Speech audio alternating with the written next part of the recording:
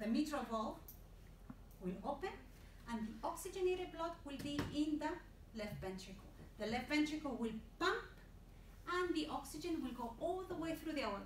And again, we give oxygen and we return carbon dioxide. And the cycle repeats again and again.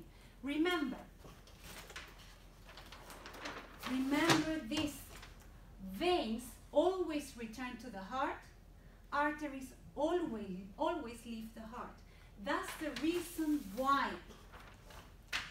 pulmonary artery is leaving the heart.